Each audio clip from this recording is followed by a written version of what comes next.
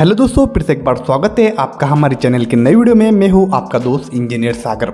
तो दोस्तों, आज आपके साथ शेयर करने वाले हैं काफ़ी खूबसूरत हाउस प्लान का नक्शा, जिसकी प्लॉट की साइज़ रहेगी 40 फीट बाय 30 फीट इसमें हमने हमारे क्लाइंट की रिक्वायरमेंट के हिसाब से एक नक्शा बनाया हुआ है। पूरा डिटेल में समझने वाले किस तरह बनाया गया है। क्या है तो वीडियो के साथ बने रहे चैनल पर नए हैं तो चैनल को ज़रूर सब्सक्राइब कर लीजिए बेलाइकन को प्रेस कर लीजिए।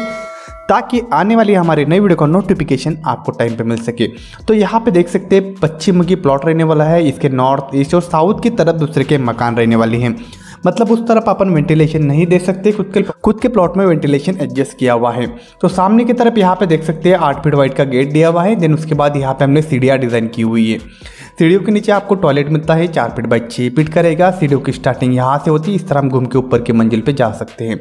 यहाँ पे आपकी कुछ टेप रहने वाली है जिससे हम इस बरामदे पे पहुँच जाते हैं और देन उसके बाद सीढ़ियाँ यूज़ कर सकते हैं देन उसके बाद विंडोर यहाँ पे देख सकते हैं वे स्पेसिंग रहने वाला है यहाँ पे आपको काफ़ी बड़ा ड्राइंग हॉल मिलता है तेरह फिट पाँच इंच बाय दस फिट नौ इंच का रहेगा इसमें यहाँ पे हमने सीटिंग का पोर्शन डिज़ाइन किया हुआ है यहाँ पे आपको विंडो रहने वाली है यहाँ पे एक रहेगी यहाँ पे एक रहेगी दो विंडो यहाँ पे डिज़ाइन की हुई है जिससे प्रॉपर तरीके से वेंटिलेशन मिल जाता है तो यहाँ पे नॉर्थ की तरफ़ आप देख सकते हैं यहाँ पे हमने लगभग चार फीट का स्पेस छोड़ दिया है वेंटिलेशन पर्पज़ के लिए यहाँ पे आप गार्डन भी डिज़ाइन कर सकते हैं।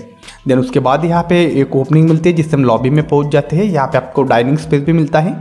इसकी चौड़ाई आठ फीट चार इंच रहेगी, लंबाई तेरह फीट चार इंच रहने वाली मतलब काफ़ी बड़ा स्पेस यहाँ पर आपको मिलता है। देन उसके बाद यहाँ पर कॉमन टॉयलेट डिज़ाइन किया गया है। चार फिट बाई आठ फिट का रहेगा। यहाँ पे हमने मास्टर बेडरूम डिज़ाइन किया हुआ है। साइज़ उसकी रहेगी बारह फीट बाई चौदह फीट तीन इंच इसमें यहाँ पे बेड रहेगा, यहाँ पे अलमीरा का पोर्शन डिज़ाइन किया गया है। वेंटिलेशन की बात करें तो विस की तरफ़ से अपन वेंटिलेशन दे सकते हैं। यहाँ पे देख सकते हैं विंडो हमने डिज़ाइन की हुई है। इस वाले बेडरूम का अटैच टॉयलेट डिज़ाइन किया गया है, चार फीट बाय आठ फीट का रहेगा। देन उसके बाद आगे चले जाएँगे तो लॉबी में से आपको यहाँ पे किचन देखने को मिलता है। किचन की साइज़ रखी हुई है, बारह फीट चार इंच बाई दस फीट दस इंच इसमें यहाँ पे एल शेप में किचन बनाया हुआ है किचन का प्लेटफॉर्म रहेगा। देन उसके बाद यहाँ पे एक ओपनिंग मिलती है, जैसे कि बैक साइड मतलब पूरब की तरफ़ यहाँ पे हमने तीन फीट वाइट का वॉश एरिया डिज़ाइन किया हुआ है। चौड़ाई उसकी 12 फीट, चार इंच रहेगी, लंबाई तीन फीट रहने वाली है। ये ओपन टू स्काई रहेगा, यहाँ पे ऊपर के मंजिल भी बनाते हैं तो यहाँ पे स्लैब नहीं डलवाना है, ताकि यहाँ से इसको वेंटिलेशन हो जाता है। देन उसके बाद यहाँ पे स्टोर रूम का प्रोविज़न दिया गया है, पाँच फीट, आठ इंच बाई छः फीट छः फीट छः इंच का स्टोर रूम रहेगा, इसकी ओपनिंग यहाँ से रहेगी। सेपरेट से पूजा रूम का प्रोविज़न भी हमने यहाँ पे डिज़ाइन किया हुआ है, तीन फीट नौ इंच बाई चार फीट का पूजा भी यहाँ पे आपको देखने को मिलता है।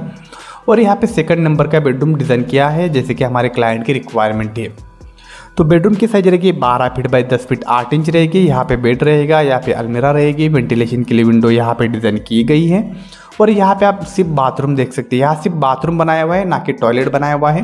मतलब यहाँ पे उसकी साइज़ रहेगी तीन फीट नौ इंच बाई छः फीट तीन इंच।